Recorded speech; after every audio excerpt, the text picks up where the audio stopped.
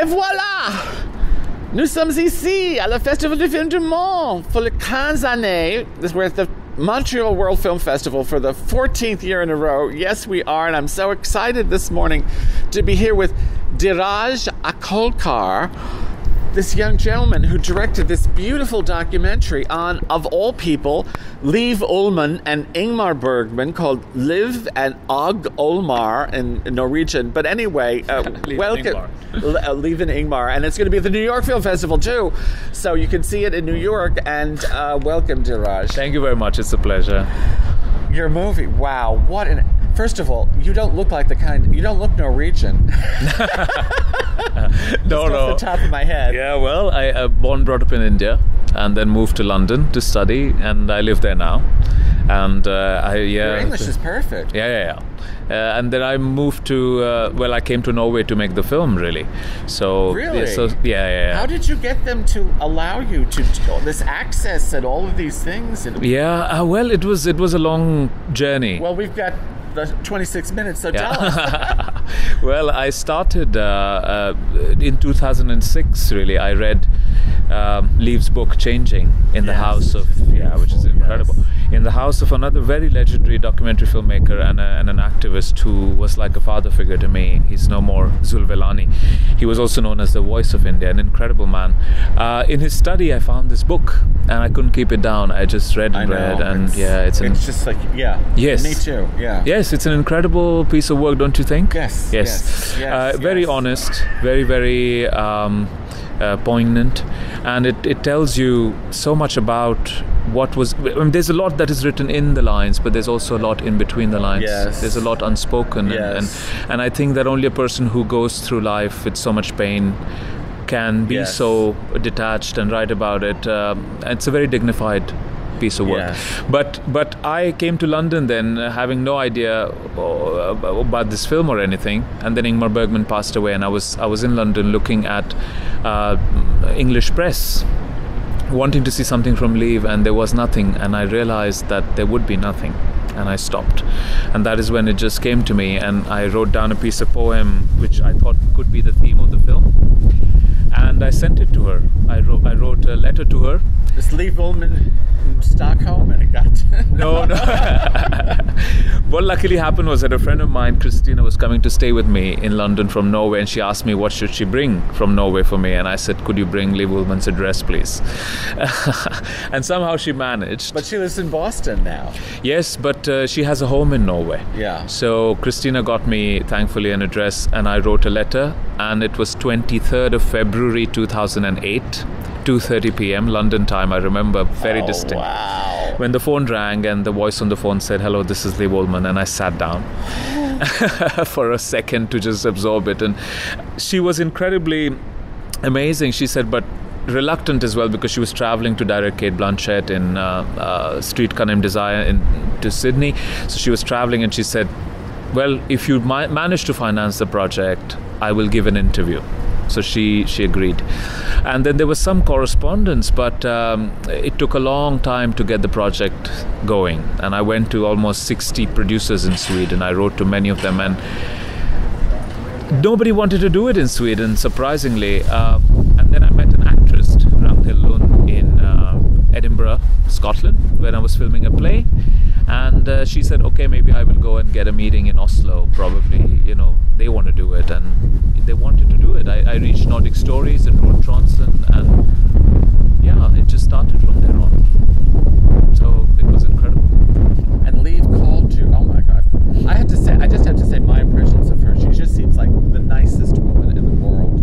She's incredible. warm, sweet. Sort of, you would never think that this is a Scandinavian woman. She seems almost American. You know, almost outgoing. All the things that that- they're not, they're not supposed to be in Scandinavia. She has had so much success in America. I mean, she was a Hollywood superstar. Yes. For- she was on the cover of Time, on the cover of Yes. People, on the cover of Newsweek. She, I bought all those issues. yes, I read all that. I read all the stories. She was nominated for two Oscars. Yes, For five. Golden Globes, if I'm not mistaken. One, one for The Emigrants. Uh, she's done four plays on Broadway. Now she's directing A Doll's House on Broadway again, and she's had so much success and acceptance in the United States. Uh, it's in incredible. The people really liked her very much. But I you know, her. I yes, just love her. Is it leave or live? leave. Leave. Yeah, you like, pronounce leave it Ullman yeah. alone. No, leave.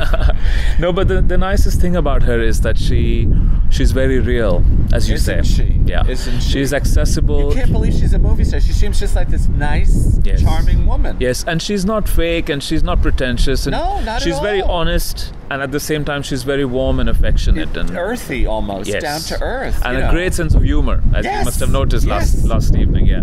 Yes, she's she- incredible. they were- she was so funny. There was a press conference yesterday. I was lucky enough to sit in the front row, and I just couldn't stop smiling. And somebody asked her about the part she was playing. You know, which you know, was it Max von Sydow or was it you know Erland Josephson who was playing Ingmar? She said, "No, it was me.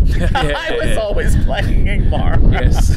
Ing- uh, uh, Liv Ullmann has starred in 11 of Ingmar Bergman's great films, one of the greatest, or perhaps the greatest filmmaker of our time. She was his muse. Sh- Did they actually get married?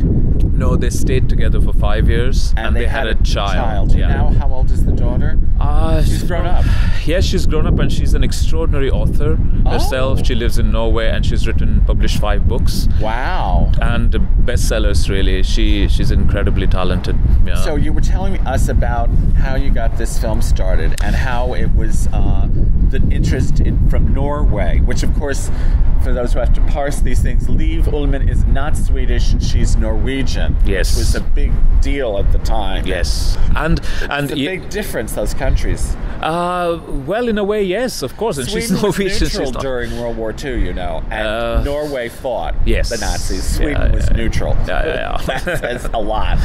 But uh, uh, Liv, yeah, Liv is Norwegian. Norwegian. Yeah, as, as we know. And uh, uh, when when we went to Norway and to Nordic Stories, and the producers were very straightforward, absolutely said yes, we want to do They were it. thrilled. Yeah, yeah. Thrilled. They were very happy. They wanted to do international cinema, uh, but they said that we need to have a consent from Liv. So uh, the senior producer, Stein Roger Bo, he had an access to Liv, so he rang Was, her. was he the gentleman who was there yesterday? no, that's Rune Trondsen. Uh, but Rune Trondsen, who was there yeah, at the yeah. press conference yesterday. But uh, Stein Rogers uh, called Liv and said, uh, "There's this filmmaker who's come to us saying that he wants to do a film.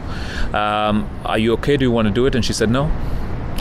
So, so they told me she's saying no, and, and my heart just sank, and it, it really. So then they requested her uh, that he's down here in Oslo. Why don't you come and meet him? And she was playing Eugene O'Neill uh, for the National Theatre. she was On- playing. She what was part- she was doing a play by Eugene O'Neill. What play was that? I don't remember, uh, but she, that, that was the last theatre Long Day's performance. Journey into Night, maybe. Yeah, yeah. She was the mother, the Yeah, yeah, addicted. yeah, yeah. Mon Dieu. and she had on the 14th of December this massive last show, standing ovation for, for a long time. And on the 15th we met, and she had told the producers that please tell him I'm, I'll come and see him, but tell him I'm not going to do it. And they didn't Okay. tell me, of course, thank God. But we met. we met, uh, uh, and and uh, she asked me why do you want to do this film, and I started telling her why, and in five minutes, really, she held my hand and her eyes had filled up.